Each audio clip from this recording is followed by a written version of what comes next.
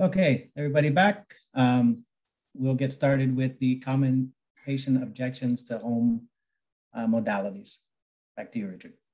All right, thanks, Michael. Um, yeah, so common patient objections to home. So, I mean, we talked about the why with the ETC models, and we've talked about the basics of, of home hemo and PD. Um, and now we're going to talk about, you know, how do we get the patients to, to do this, right? I mean, this is one of the biggest challenges that I hear all the time from from people is is you know a lot of times we assume like our, our, our, big providers the ldos they'll give these these objectives and they'll put out these corporate initiatives to say we're going to get more patients home but then they don't really give you any training on on how to have that conversation right? I think they assume a lot of times that we know how to talk about these things and and and the reality is is is we go to nursing school and not not not communications. I mean a lot of our our nursing does you know talks about assessments and, and education but we don't talk about how to how to have a conversation with the patient about um, doing what's best for them or what's what may be right for them. Um, so what we're going to do is we're going to look at, um, at, going into the next slide. We'll be looking at, at some of the common patient objectives and and i've kind of listed them out here and what you hear a lot of times you'll see okay so cannulation you know? And i know this is going to be i'm going to say this for just for sam because i know he loves to hear it is um, we don't like using the term stick right? I know to, to, to borrow from sam stick is a prison term. I mean you get you get stuck in a prison. You don't you get shanked in a prison. You don't you don't get stuck in a dialysis center you get cannulated um, so cannulation is is one of the things where patients will say, I'm scared of needles. Um, so uh, you'll also hear about safety. Um, is it safe to, to do at home? You know, is, is doing my dialysis treatment safe to do at home? Um, those are that, you know, safety is, is something that, that is always on the patient's mind and thinking about like, you know, I want to make sure that when I do my treatments, I can do my treatment and, and, and complete my treatment safely. Um, frequency, we talked a little bit about this before, you know, um, do I really need to do five days or more per week when I'm doing my treatments? Uh, you talk about care partner scenarios. Um, it's too much for my family. Um, and a lot of times patients will say that without ever talking to their family um, and not really understanding exactly what, you know, what an impact their, their disease has on, on their family. Um, I know that was something my dad never really talked about. He never had that conversation to ask us how it, it, it, it impacted us. And so it's something I like to introduce all the time. Um, and of course, community. I know a while back there, I don't know if you guys remember this, but there was a, a piece that um, uh, John Oliver did on, on his show on HBO talking about how um, he didn't really believe that patients would actually say, I, I don't want a transplant or I don't I don't want to do home dialysis because I'm going to miss all of my dialysis friends. And and you know as much as he may not have believed it, it, it it's it's very real. Um, it's it's something I hear all the time. Huh? Well, I like coming here. This is the only real outlet I have um, because if I'm at home, I'm just home and I nobody I don't have any friends at home or I don't belong to any groups. I just kind of sit at home and watch TV. Um, but when I come to dialysis, I, I talk to people. Um, I see people, I, I, I, you know, on a regular basis, I become friends with these people. So it's something that's very real, and, and we have to know how to how to have that conversation. Um, so on the next slide, um, you'll see uh, some appropriate responses uh, to patient objections. So, and, and these aren't the only responses, these are just a few suggestions that I make um, when patients say, I'm scared of needles. Um, so I always try to validate that that fear by saying this is a normal response. Nobody nobody really um, has is born with a needle in, in in their arm or in their leg or wherever it has to go. You're you're not born with that. So it's not something that's going to be completely 100% comfortable for for most people. Um, it's it's a foreign body in, entering into your your your arm. Um, I mean that's the reality of what it is. So it's a normal response. So it's important to to acknowledge the patient's uh, fear and sometimes even the care partner's fear because the care partner is also going to have some some hesitation if they're the ones that are having to cannulate their patient so um, i mean sometimes it's it's something that that you have to acknowledge make it normal and then and then um, you know, proceed from there with with a mindset for education and understanding that that this is something that those patients are and partners are going to have to overcome. Um, letting the patient know you're going to have more control over it if you do it yourself. Um, one of our friends, uh, uh, his name, his, uh, his name, uh, Harvey Wells, uh, is is a patient advocate as well. I, and if you can't tell, I work with a, with a lot of patient advocates. Um, but Harvey was is a retired patient advocate who used to say, you know, there was no way in hell I was putting that needle in my arm, and the nurse told him, well, there's no way in hell you're getting on the machine until you do. um, so they put him in a situation where he was forced to do it. Um, he did it the first time, and his his experience was that once he did it, he said, I would never let another person touch my access again because it was so different for him. Having that control to to put it in and to feel where the needle was and to feel like if it was uncomfortable, he could stop. Yeah, um, most of the time when he went, he's like you said, when I went into the center, those technicians they walked up, they put that needle in. If it hurt, it was too bad. It was too late. It was already done. There was nothing I could do about it. But when I had my hand, if it hurt, it didn't feel right, it didn't feel comfortable, I could stop, I could reposition, I could pull it out, I could start over again, I could take my time. Um, and when you have that kind of control, it becomes a lot less scary. Um, no one will care for your access like you or your partner. And, and, and that's just not to say that our, our in-center teams don't, like I said before, they don't, not that they don't care. It's just that if you think about it from an in-center perspective, I've been a PCT, so I know how this goes. Um, you know, you're, you're assigned four, four patients every shift, um, sometimes more. And you have only a limited amount of time to, to do everything that you need to do um, before you have to move on to your next patient or you're behind. And so there's always a little bit of a rush. And, you know, in, in, in a haste to rush and get things done and follow a schedule, sometimes things get overlooked or sometimes mistakes get made. And, and when you're a, a patient or a care partner caring for your own access, you don't have that need to rush. You can take your time. You can, you can focus on um, you know doing everything by the book check your boxes and and follow the instructions that we provide you just like it, we, the, you know, you're trained just like the patient care technicians on the floor are trained, um, and and you're able to actually, you know, control that situation. Um, is it safe to do treatments at home by ourselves? Um, so, you know, one of the things that I always explain when we talk about PD or HHD is that these treatments are, are way more gentle than in center. Okay, so this is applicable to both PD and HHD. Um, and I usually explain, so like with PD, it's a very slow process of removing the fluid. You have a longer period of time to remove the fluid, which has less impact on your heart. Um, that fluid exchange is done in a way more gentle uh, way so that when you're removing the contaminants or those, those toxins from your system, um, it's not as hard on, on your body. Um, and in HHD, you know, our dialysate flow rates on, a, on an HHD machine are usually one third of our blood flow rate, which means that dialysate flow rates generally run less than 200 mLs per minute. When in in-center, we are talking about running, you know, six to 800, five to 800 dialysate flow rates on a normal basis, where this can have a, a really negative effect on the patient um, in, in what we call myocardial stunning, right? And what happens in that, in that process is basically patients in center are put into shock almost on a regular basis.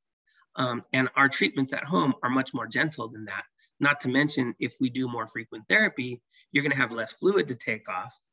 So that means that your UF rates are going to be lower, which means there's less likelihood of you cramping or having uh, low blood pressure, hypotensive episodes. All of those things uh, become um, less common. And, and not to say that they won't ever happen, but they're a lot more less, uh, a lot more uh, less invasive. There, it's it's less invasive. It's less impactful on your body, and they're easier to manage when they do happen because it's not as extreme. And and really, I mean, you, what you're hearing me say right now is the conversation I have with the patient. So when you're having these conversations with the patients, it's always important to assess where they are.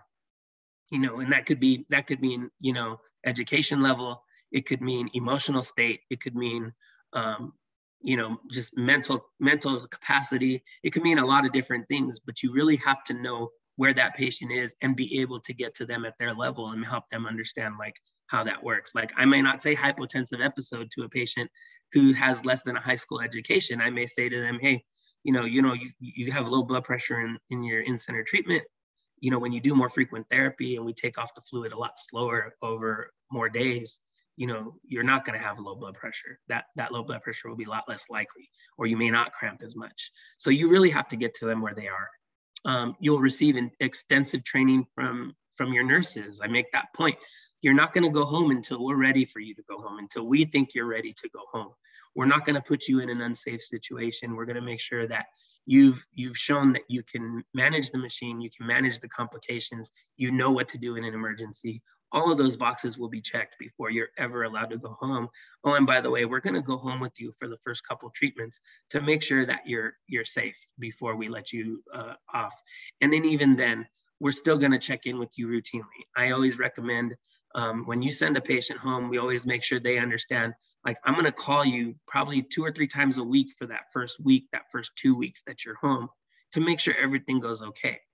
Um, you're going to always have that tether to our to our program so that you can make sure that if there's anything you need, we can step in and help um, as soon as possible. Um, and then we kind of ensure also the equipment is, is devised to safely treat patients at home. There's so many safety systems involved in all of these different systems that we use um, to make sure that the patient is safe. I know that we talk about things like nocturnal and solo patients as well. Um, there's devices that we use for venous leak detection to make sure that patients are not put in a compromised situation, that it gives them the ability to notif- notify them when these situations are coming are, are happening and they're given the uh, the training to learn how to troubleshoot these problems or how to you know get themselves out of these situations immediately just by ending treatment and and contacting their their uh, home program or physician or even just going to the ER just like they would if they were an in-center patient. Um, to look at the next slide here, um, we'll talk about do I really need five times per week or more, and and or seven times a week when you're dealing with PD. Um, your treatments will be shorter than you are used to in center with HHD. So that's one thing I always tell them is that most of the times, most of the time, I mean, and this is making a claim, but I can tell you it's very rare that I've seen a patient do a longer treatment unless they're doing nocturnal. Um, and then it, nocturnal is specific by design. So um, I think that's important to, to make sure patients understand is that you know, we're, we're not really asking them to do more dialysis. We're, we're asking them to spread it out over a period of five days versus doing it all in three days. Um, and I think the other piece to this is when we when we talk about time uh, related to to to patients in center, um, a lot of times the patients are only thinking about the time they spend on the machine um, they're not considering the amount of time it takes them to get to a clinic. In some cases, that can be depending on environment and where you live and your your surroundings. I mean, if you're in LA, um, it could take you 30 minutes to go five miles. I mean, so um, you spend that an hour a day traveling just going to and from dialysis. Um, and then considering how much time do you sit waiting for your chair when you're in the center. Um, and then once you're on the machine and, and how, you know, if the, things get busy, and your treatment is done, sometimes they can't take you off right away. So you have to sit there for a few minutes and wait for them to be able to come to get to you. And then once they take you off, you have to hold your sites. So then you're sitting there, you know, for a while holding your sites while while uh, you know they're setting up for the next patient. Um, and so all of those things are, are not always considered or transportation, you know, maybe sometimes if you're on transportation, the van doesn't show up on time or they don't show up at all um, or they don't pick you up on time or pick you up, you know, or they get sidetracked or something happens, a van breaks down. A lot of different considerations there in time that are not present in the home setting. So those are things that I like to compare uh, when when talking to a patient. Um, five treatments can help you have more energy and better outcomes, or more treatments, more frequent therapy can help you have more energy and better outcomes. That's something that's important to to really um, hit home with them because I always have that conversation with my in-center patients when I'm talking about home is how do you feel when you get off a of treatment? Most of the time they say, oh, I feel okay. You know, I have to go home and take a nap and it takes me a while to get back to normal. Um, but when I tell them, you know, if you were doing more frequent therapy, um, you know, your recovery time would be reduced to uh, less than 30 minutes. And what a lot of people don't understand about recovery time is there are studies out there that show that um, for every hour you spend in recovery is a 5% uh, increase in risk for adverse occurrence. And so it's important to, to kind of emphasize that with them is like the long, the longer you're, you're, you're in recovery, the, the less likely you are to feel good. Um, patients who dialyze more frequently transplant at a higher rate. We've, we've talked about that in other parts of the presentation. A lot of our patients, their primary goal is to get to transplant. So if we are talking about home as a means to increasing the incidence of transplant, um, that's going to help a lot of these patients make that decision. I've seen patients that are sitting on the fence, just kind of like, I don't know, I'm not real sure. Well, you know, have that transplant conversation because if it makes them a better candidate, uh, a lot of times they'll they'll they'll be interested. Um, patients who dialyze more frequently have better survival rates, and we've seen that multiple times through the presentations that we've seen today um, the, the different slides I've shown you guys today is that we know that home patients have better survival rates. And if their, their goal is to stay alive long enough to get that transplant, then, then they should be doing a home modality, not an in-center modality to start. Um, so this is too much of a commitment for my family.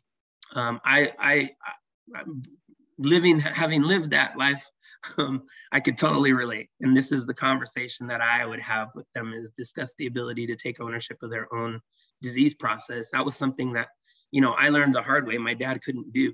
Um, he he or or didn't want to do. He was he was conditioned and trained to have everybody take care of him, um, which is in you know he was the first HHD patient I ever worked with. So I learned a lot there.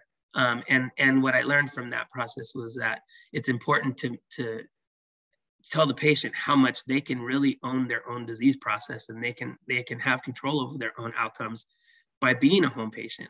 Um, it gives them the opportunity to to really be responsible for doing dialysis. You're not going to have excuses. You won't be able to put it on anyone else. You'll be able to take ownership of it um, and having control. And a lot of patients, that's all they want is control. I mean, we we talk about these difficult patients like Sam was talking about who come in and tell us what to do when we're in center. Um, and and you think it's it's a it's that that ongoing battle for control over their own lives. And and if you give it to them a lot of these patients will will, will take it with you know gladly and and really do well um, discuss the ability to specifically define the role of the partner. This is where we say a lot of times you know the commitment for the family is is an assumption that oh my partner is not going to you know this is going to be too much for my partner. Um, when you can really say okay what is it that the, that you can do for yourself? And what is it that you can't do for yourself? Because anything that you can do for yourself will relieve your partner of having to do that. And then going forward like only the things that your partner has to do is what they're going to be responsible for. So you really i mean while you're worried about it being too much of a commitment for your family you have control over that as well. Because if you if, if you do more for yourself then that's less work your partner has to do and it makes it less of a burden for your for your partner.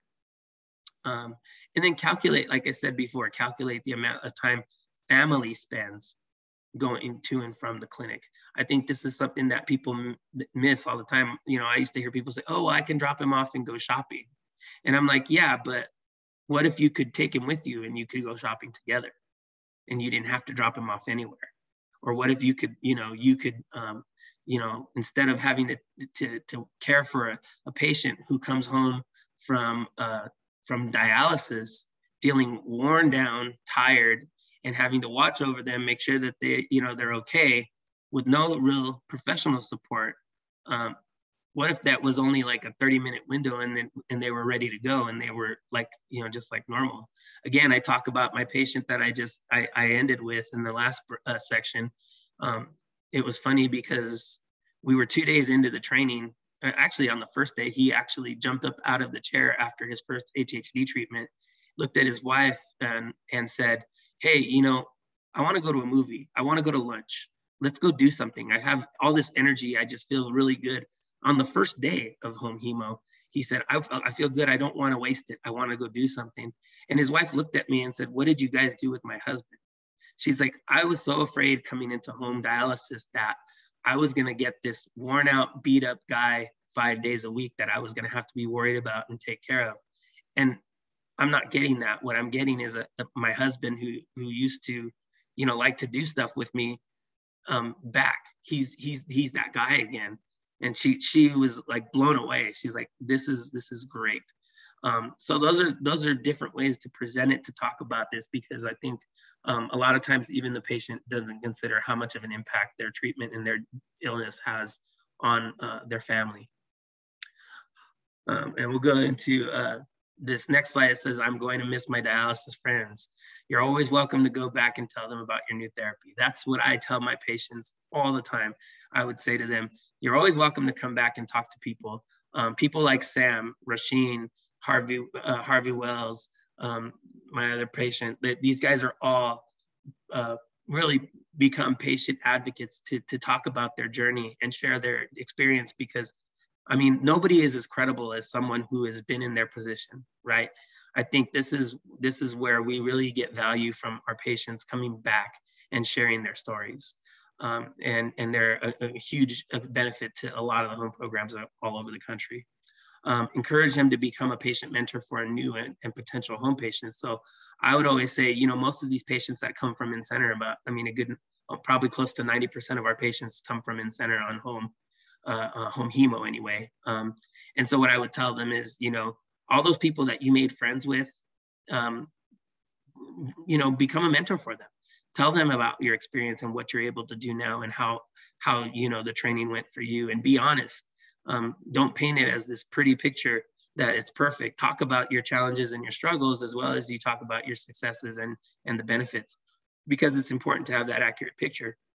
You know, knowing that some of the the challenges that they come up against in the uh, in the in-center world are, are, are nowhere near as uh, uh, uh, you know nowhere near what they have in, in the home room. So it's important to, to think about that from that perspective. Um, and then encourage them to plug into support group. I know um, that, that, I think there's a lot of different organizations out there. Um, right now it's harder. I know everything's being done more um, virtually and on social media and things like that. Um, but those are good ways to, to spend your time and, and, and really get into um, you know ways to, to connect socially. Because um, that social change is is is it is real. Um, like we said earlier um, patients do have a lot of social outlet when they come to the in-center unit. But my my goal is is that i mean what did you do before dialysis? How did you make friends before you were on dialysis? Because you know you didn't start out on dialysis and most patients had friends before they came to dialysis so um, you know, I encourage them to get plugged into support groups, find outlets for them to do things that they used to do and they used to love to do, so that they could, you know, plug back into that social uh, world that they were in prior to being a dialysis patient. Um, so um, I like to also talk about, again, if I haven't talked about it enough, um, the importance of patient advocates. Um, they're the most credible source of information that we have available to us. I mean, allow the patient to get a real life account of HHD or PD. It doesn't even have to just be HHD, it can be PD as well. I know now uh, in, in, my, in my everyday life, we're using patient advocates for both modalities to, to really help um, patients cross that bridge from, from uh, doubt or, or fear into comfort and and confidence with with home modalities. So it's important to make sure that we give them those opportunities with uh, to in, in, engage with our patient advocates.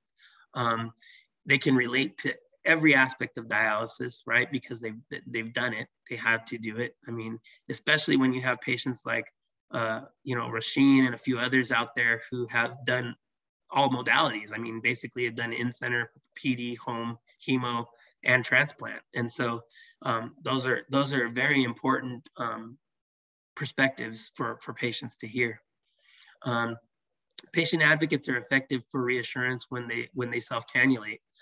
Um, you know, self cannulation is is one of the the hardest things for patients to to to deal with and to overcome um, that that fear for uh, when they're when they're considering doing a home modality, uh, especially well with HHD. Um, so it's it's something that that you know those patient advocates can be really effective in helping uh, facilitate that conversation and, and, encouraging the patient to just you know can to stay vigilant, stay stay stay focused, and and really um, help them find ways to overcome that fear. And patient advocates also should be properly trained on how to talk to patients. So it's not like you just want to take a patient that you started, you know, a couple weeks ago and throw them into an advocacy situation. You always want to make sure that they have formal training, and there are a lot of ways for them to do that. I mean, you can, you know, if you're qualified to do that yourself, you're welcome to do that. But um, there are um, organizations and groups out there that provide training on how to um, develop patient advocates and and really coach them on how to talk to patients in an appropriate and and respectful way so that they're um, you know they're they're effective and and and uh, helpful for a patient population that we're serving. So I wanted to, to give you some sample questions because one of the things that, like we said, people struggle with is, is how to start that conversation with the patient in the in-center unit. So I, when I do lunch and learns at a facility, I usually will, will challenge the staff to say, okay, what, um, after you're done with this lunch and learn and you've, you've received all this information, I'm gonna ask you to go out and talk to one patient on the in-center floor about home dialysis but the challenge is I want you to do it without saying the words home dialysis. Um, because I think when you say home dialysis, um, patients immediately put up a wall in a lot of situations. Um, they they just don't. When you put that that home that wall up, at that point they're not hearing anything else after that. So it's like you know the common question I get is like, okay, so I or I I ask I say if if you had to go out and start that conversation right now, how would you do it? Before I give them any sample questions, and most of the most of the people would say, "Well, has anyone ever talked to you about home dialysis?" And like, okay, but that's a yes or no answer. I mean, most of the time they'll say yes, and then if you try to engage conversation, most of them say, "Yeah, I've already heard about it. I don't want to hear anymore." Um, I hear that all the time. So my challenge is let's let's let's have that conversation in a different way. Um, how does your family deal with your CKD? Again, it's a different perspective. It's about your family. It's not about you at that point. How is your family dealing with, with your chronic kidney disease? Um, you know, what are you missing out on by being part of that, uh, being at dialysis today? Um, you know, a lot of times I found, especially on those patients that were TTS on Saturdays, where they're like, oh yeah, there's a family reunion, but I couldn't go because I had to be at dialysis, or oh, I had a birthday party, but I didn't go. My family's there, but I'm here at dialysis those are all things that you could say, well, what are you missing out on today? You know that you didn't, you don't have to miss out on it. There's other ways that you could do your treatment so that you don't have to miss out on these things, um, and and and engage the conversation in that way. Um, if you could feel better after treatment, would you want more information? Um, and a lot of that's really good for patients, especially patients you know are are struggling with uh, recovery time and things like that. So, I mean, you know, recovery is a is a big part of it. You know, most patients will say, "Yeah, I usually don't feel good until the day after dialysis," um, and that's a long time to wait to be to feel better. Um, so it's a it's a good place to start. Um, you know, again, similar if you weren't at dialysis, how would you spend your time? Um, I always like to ask this: What's on your bucket list? What are like two or three things that you want to do before before you walk off of this world you know and i think that's that's a it's a it's a fun conversation to have with them like I, you always just kind of ask what's on your bucket list um, and then they'll usually give you a few things and what i usually do is say you know they'll sound like they're pretty hard to do with with in-center dialysis have you considered going a, another route in order to make it easier for that would you know if you there was a better way would you want to know more and and I never said home dialysis. We're talking the topic is their their activities and what they like to do. And then you switch gears on them and then say, okay, if you want more information on how you could maybe make that happen, I can get that for you, you know. Um, what reasons would you have to consider a different type of treatment? And and let them tell you, you know, what what do they struggle with? You know, do you work? Do you go to school? Do you have kids? Um, what is it that that you're struggling with that that if you had a different type of treatment you could fit into you know your own lifestyle what would that what would your reasons be for doing that um, and then how does dialysis affect the way you plan your life i mean are you living to dialyze or are you dialyzing to live you know those are the that's a common question that we ask um, but you know and, and the way i look at this is if you're working in an in-center unit um, and from having the experience of working in an in-center unit you don't just get your patient in, do their vitals, you know, s- set up your machine and hook them up and walk away. There's always conversation that happens during that time frame when you're putting that patient on the machine and you're getting them set up to go. on their treatment, what a perfect time to have these conversations, right? I mean, you're already there. You're going to talk to them anyway. Why not talk to them about something that could change their life? Uh, why not have meaningful? And instead of talking about what's on Jerry Springer today, or you know, um, you know, what they had for dinner the night before, let's talk about something that's going to change the, the way the way of life for them. Um, and I think that that can help us be impactful uh, in a meaningful way. Um, I know there's there, there's a lot of times we have to talk about techniques for overcoming fears, right? Because we're coaching these patients through get trying to get them. So the slide basically will tell us, um, you know, take baby steps when you're addressing difficult topics. You know, don't try and, and and hit them in the face with a hard topic all at one time. You know, it's like saying, you know, you know, survival is is is the worst in center than it is at home. You don't want to hit them right in right between the eyes or something like that. You want to you know take baby steps into that conversation and and really kind of go into it gently. Um, don't don't try to just um, dump information because dumping information a lot of times is very overwhelming and, and they won't they won't take much out of it when you do that. Um, provide a positive reassuring atmosphere early on. I think that's that's the key is like when we're when we come in with a positive attitude um, you know that the you're gonna you're they're gonna be more receptive right um, it's important to, to address things positively. I talked about that nurse who the doctor called out um, at that dinner where she said, you know, where the doctor told her, you know, try to take your clinician bias out of it. If you think it, you know, just because you think that that that this is the case doesn't necessarily mean that that's what's going to happen. Um, so take that bias out and really have an open conversation, open-minded conversation uh, with your patients. Um, ensure that time is not an issue when you're attempting new concepts. So these things like attempting these conversations, you wanna make sure that you're not doing it in the last five minutes of your shift before you're walking out of the room because you may find that you need to spend 30 to 45 minutes, maybe even an hour talking to a patient sometimes. You may not have that hour all the time and it may not something you do, but it's always good to drop a seed. But if you can find time where you can take that time to be, you know, say during turnover, say, hey, I'm going to come back during turnover and let's let's have more conversation about this. You know, give yourself an opportunity to come back to it and and and set out that time because I know we get in a rush in center. I know, and especially in this environment, I know how how time consuming things are and how we're short staffed and we're doing all this. Um, but changing lives, uh, it, it takes time. And, and and when you have an appropriate uh, or an important conversation to have, it's always important to try to make sure you have the appropriate amount of time to, to do that. Um, utilize your patient advocates. I can't say that enough to ensure that to assure that patients, uh, the patient they they can succeed uh, with the support of a patient advocate. Um, you want to remind patients that every mistake is a learning opportunity. So that's one of the things that I always kind of felt really, really strongly about was is that um, uh, we could we could met, make sure that um, that that the you know we we gave the patients an opportunity to make to make uh, mistakes. Uh, transitional care units, a patient, uh, uh this is a patient-centric approach. So transitional programs, I mean, I'll talk briefly about this because the, the, transitional programs are not everywhere, but a patient-centric approach to gently easing patients into dialysis a gentler therapy than three times a week in center hemodialysis as more frequent therapy offers less stress. Um, education, they offer education on dialysis modality options in a transitional program.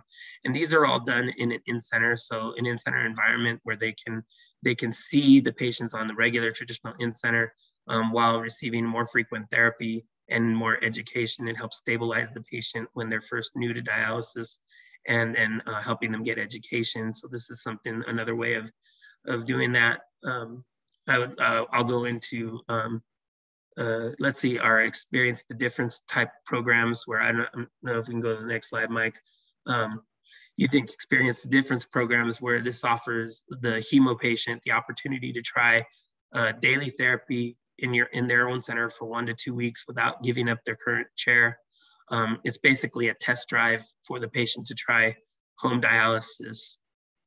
Um, and it'll allow them to kind of um, see the impact on um, more frequent therapy on them before they make a complete commitment to go into training. Um, you can go ahead and skip to the next slide, Mike. Um, in the interest of time, like I said, this is just kind of a thing of how the program works.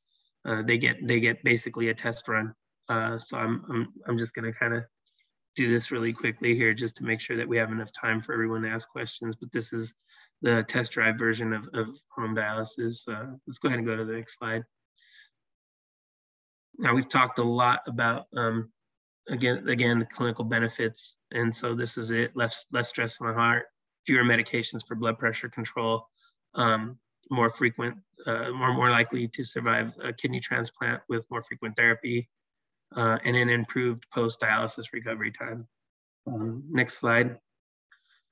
Uh, we can look at the next slide. It'll be uh, increased energy and vitality. Again, this is a big one, improved sexual function.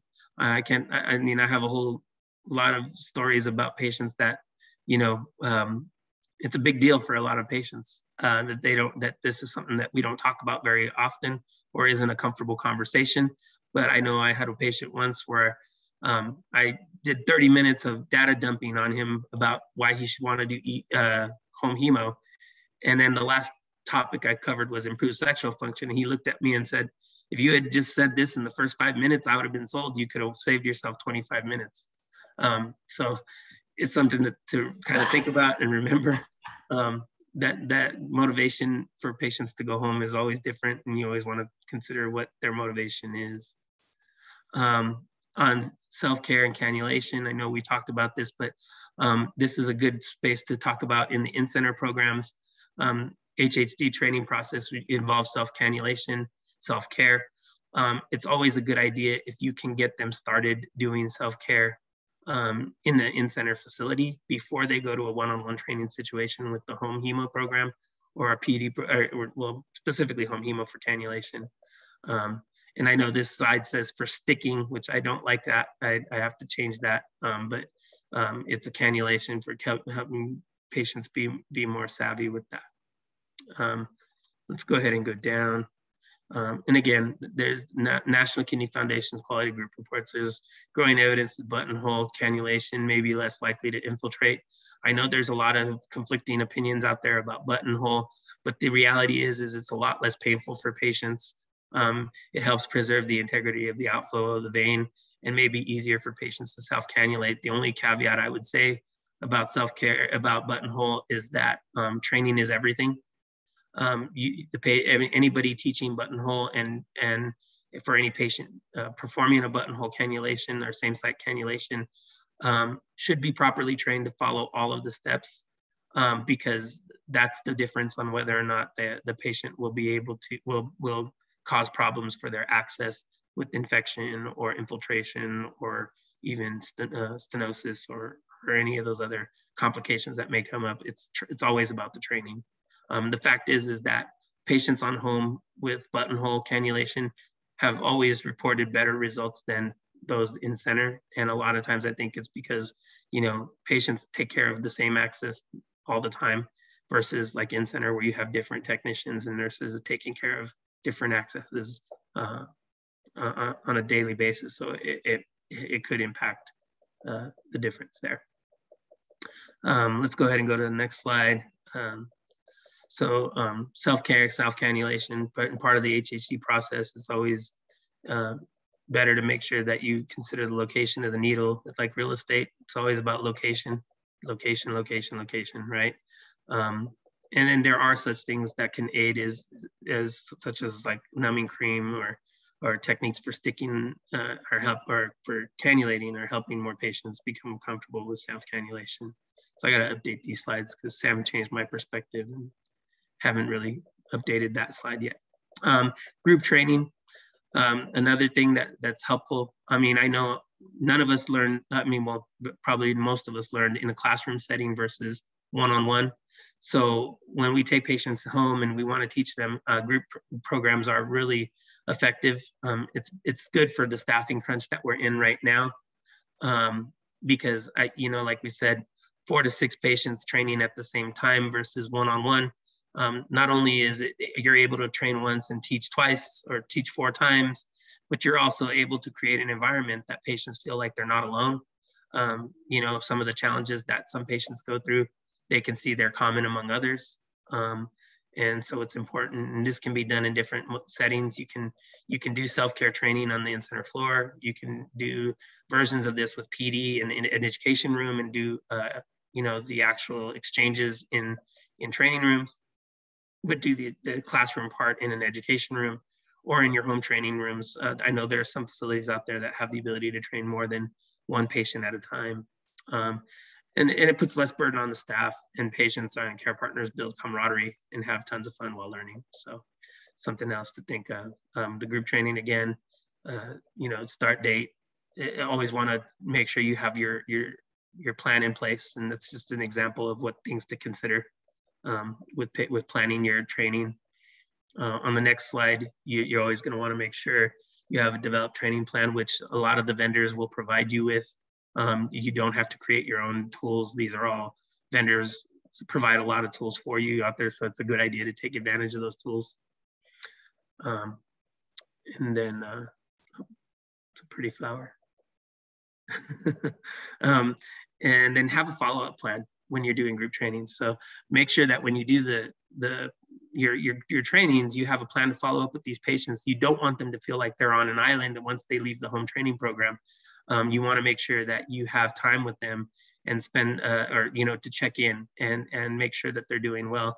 Um, and don't wait for clinic visits. I would do this like i said earlier i would call them in the first week two or three times to make sure that they're doing well and then uh, kind of wean them off of that schedule. Maybe go after a couple weeks take it to once a week and then after that maybe once every other week and then after that once a month until you're you know till they they know that they uh, they're connected um, I, on this next slide, I'd like to kind of just like get close to, I know we're getting close to the end here. So um, the next slide, I would like to just kind of emphasize that patients should review all the following information carefully and discuss it with the doctors, decide whether home hemodialysis with NxStage or any system is right for them. So just make sure users um, should weigh the risks and benefits of performing home dialysis with all home systems and certain forms of home dialysis have additional risks. So um, with that, um, um, I have I have a quote for you guys um, that I wanted to share. So before we get into questions, just to throw this out there,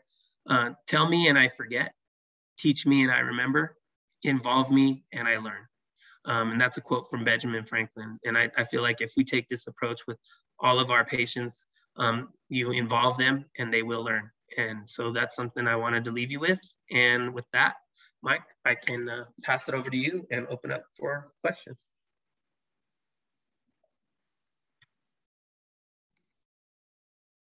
Sorry about the last uh, the last couple slides, guys. I got messed up on the controls here. Uh, yeah, the screen xed out xed out on me.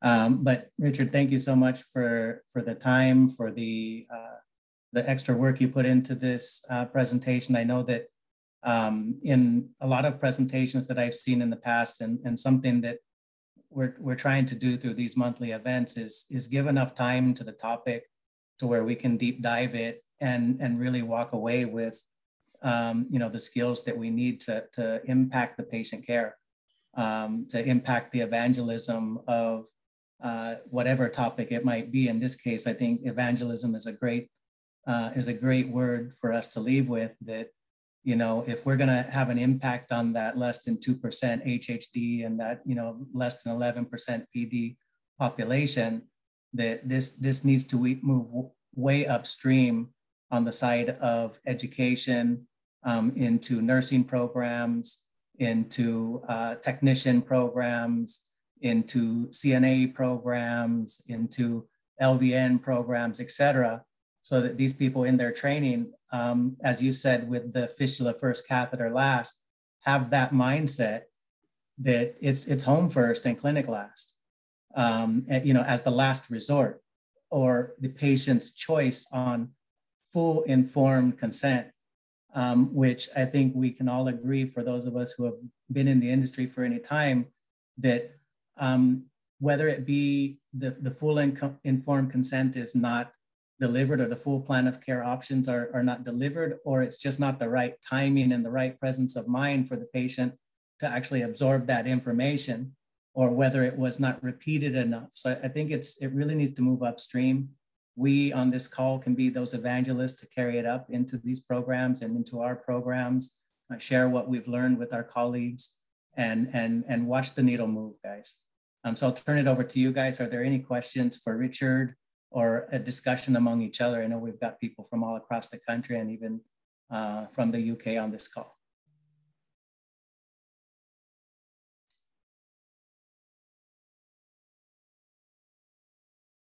With that, um, I'll point you to the chat again and um, hope that you guys will continue to follow our events.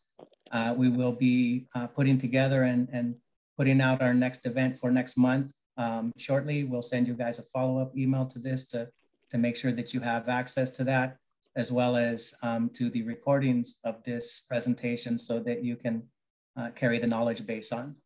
Uh, for those hey, Michael, that, Michael, this is Heather. Um, just a comment. Richard, I really loved that you brought in the idea of asking the patient um, what you know what are what are two or three goals that you have you know for um, you know for your for your well-being or what you want to you know you're you're basically you know what are your goals in life type of situation mm-hmm. because goals to patients would be totally different from what we as clinical staff think about um, you know it might be that one person just wants to get to september of next year because my son my grandson is graduating from college or you know or, or someone is interested in you know going you know going uh, out and, and seeing the world and doing travel like and cruises like that patient that patient advocate did. So I, i've actually implement i did implement that at some point you know with you know asking patients and and included the social work team on on actually actually asking that question what are your two or three goals or what are the two three three things that come to, that are very important to you going forward um, and it de- it definitely creates a different dynamic with the patient and the caregiver. Well, thank you for doing that too, because I think that's one of our biggest challenges. Is I talk to a lot of educators and different different they have different titles across the different providers out there, right? They're whether they're kidney smart or or KCAs, kidney care advocates, and things of those natures. What I've learned is that a lot of them don't ask those kind of questions. You know, they they have a, a list that they want to check the box on, and they they do that data dump. And I think um, disregarding the goals of the patient in in in that initial conversation really sets up the patient to to disregard their own goals. A lot of times they'll feel like I, you know the message that they they receive is is even if it's it's implied is that you know I, I won't be able to do those things anymore and i think when you ask them what would you like to do and you give them the opportunity to tell you i mean they may not be grandiose like like you said they may not be um, you know i want to take this you know life altering trip or it may be something as simple as i want to see my son graduate i want to see my grandson graduate. You know i'd like to be able to you know to work part-time. It doesn't have to be something grandiose or or, or really major. It, it could be something very small but it's important to understand that and and know how we if we understand those goals then we can better help that patient you know with the treatment plan. And I, i'm one of the things i always tell patients is that you always should always know what your next modality option is going to be too because you never know what what what can change in life and and you always want to know what you're going to do next because if you know what you're going to do next the decision is easy. Hey richard i, I think that's uh, you know a great point there is this kind of contingency and uh, Lillian uh, put posted in the chat here, you know, kind of a, a, a segue uh, to that question is, uh, you know, how concerned should we be about access, uh, home access issues um, in light of increased um, use? And, and I've kind of been hearing some, some word on the streets lately um, as far as, you know, certain logistics and, and uh, supplies and things like this, but it's, it's kind of a similar case to well covid like how prepared were we for for covid? And we did it last year and how prepared are we this year right, right. Um, uh, we're, we're, we're coming to the same point. So can you speak to that at all? Yeah no so how concerned should we be? I think like this is exactly why it's important to to dispel some of those myths out there about buttonhole cannulation. I think buttonhole cannulation will will solve the issue about access issues, especially because I mean, majority of our patients have fistulas now. Like we said, 70% are fistulas. Now, if we can't do it, then it could be a concern. But I would say, you know, the risk the risk involved with with frequent cannulation in a graft versus versus what's in the risks are involved in putting a patient in center on three times a week. Yeah. I mean, you got to do the the like we did earlier the be the balance approach. The comparison is is is not even even close, right? The benefits far outweigh the risk when you're talking about cannulation. Now there are some things that I would do. I would say make sure you're doing routine um, access evaluations. You know, you have access centers, make use of them. I know um, with one of the groups I worked with, they required their patients to go to uh, have their access evaluated every six months. And if they had a graft that had um, a history of clotting, they would go in every quarter to have their access evaluated. Mm-hmm. Um, so there's a lot of preventative measures that can be taken. We have the tools to do it. We just don't utilize them all the time. Um, so I, I, always say like when it comes to that, it's it's definite concern. I hear it a lot even from nephrologists, and I would say um, don't let, don't let that be an excuse. Um, utilize the, the tools you and resources you have at your disposal. Send them for evaluations. Do the education, and everything will be fine. I, and I think I mixed up uh, Lillian's question. So yeah, it's a, an access, vascular access question. Looks like um, I, will segue to my question as far as logistics and supplies and, right. and resources, you know, access to care in, in general. You, you spoke to this a lot um, from the staffing equation, but from the other sides of things, uh, is the industry prepared for, you know, for a flux? Um, yeah, no, yeah, and and I know we had this conversation a little bit the other day, just in our in our general conversation, and I think, um, you know, the one thing I can say from a product perspective, from where I come from, products are not the problem right now. I'm like, there's plenty of product out there. The challenges that we're running into is delivery, because that's that's our industry that's being hit the hardest right now. Is is couriers and drivers and warehouses and things of that nature.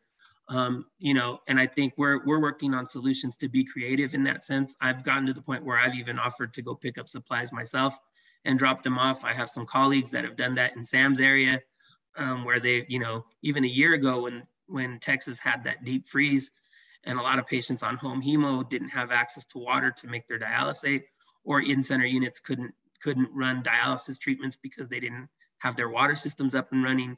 Um, you know, my company actually delivered um, premix solutions and and and they had cyclers in the in the region where they were able to do dialysis without a water source. Um, so those are the type of things that we're able to be a little bit more flexible with. But in terms of like equipment and supplies are not the problem. It's training staff and and delivery staff that we're running into those issues. But we're we're mitigating we're, we're kind of mitigating those things. I know the providers on both the both of the LDOs, the big providers, have um, processes in place right now to um, prioritize situations based on need and emergency.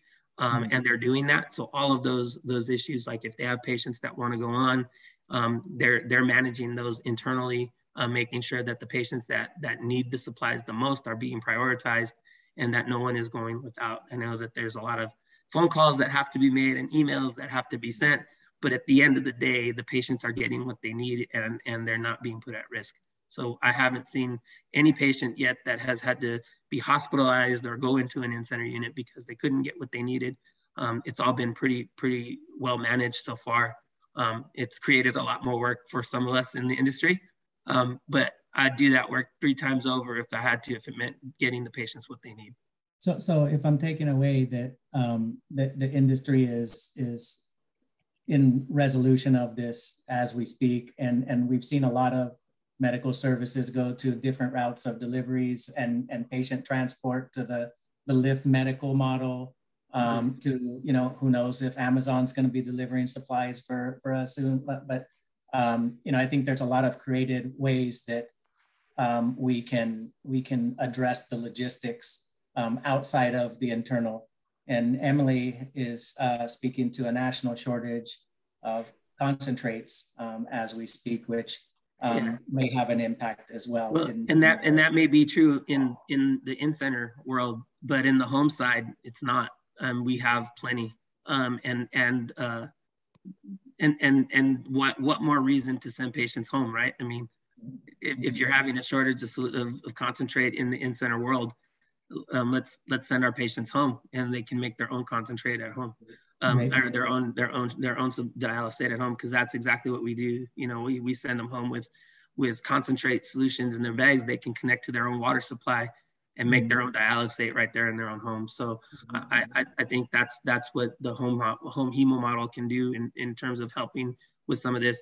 I think what we need to do, and this is just like conversation I like you and I, Mike, have had, and I'll share the my point that I made to you the other day is like, you know, I look at the in-center world and we have there, there's always complaints of not having enough space for patients to get trained to go home and, and you know alleviate some of this stress we have on our system. Um, I think what what my point is is that when COVID hit, we we had no problem. Um, I mean, we we were able to do it. Find you know extra chairs to isolate patients in the COVID cohort clinic. Mm-hmm. But when we were talking about training patients to go home or to do self care, um, there's yeah, never enough space. Yeah. And so uh, there's some contradictory. Uh, uh, uh, it's a contradiction in that, and and I and I always kind of point that out because it's like if you can find space to put a, a patient in isolation for COVID, why can't we find space to put a patient in self care training? And yeah, Richard, to your point, I mean, my my feeling is, you know, if you don't have if you don't have room in one center, it might be that your next center, you know, two miles down the road may have that. So I think that sometimes as clinicians, we we tend to put more barriers into into it and not really come up with solutions yeah. um, that you know are innovative. So I would say I would say to that because I've been a provider for a long time is that you know let's okay don't say we can't do it. Let's figure out how we can do it. How to make it happen. I agree with you 100% and and you know I, I, I like to ruffle feathers in those kind of conversations as mike knows so mm-hmm. i'll poke the bear every time on something like that. Hey everybody we're at seven minutes past. I, I, can tell that everybody's engaged and love this conversation and, and i think it's a you know we've got the start of our community here in 2022 spread the word about events and, and get your colleagues on these calls with us so that we can really have meaningful dialogue and take things out across the country um, in an evangelistic manner. Um, I want to thank Deneen uh, for putting together all the, the slides and, and uh, you know, un, under Richard's direction and guidance, but uh, kind of getting everything in order and for um, uh, organizing the Zoom meetings, and and she'll you'll be hearing from her as far as the follow ups and, and next steps, folks. So look forward to seeing you all next month. Have a great rest of your great job, Richard. Thank you, Thanks. Mike. Thank you, Sam. Thank you, everybody. Have a great weekend. All right, take care, guys. Thanks, everyone. Thank you. Bye bye.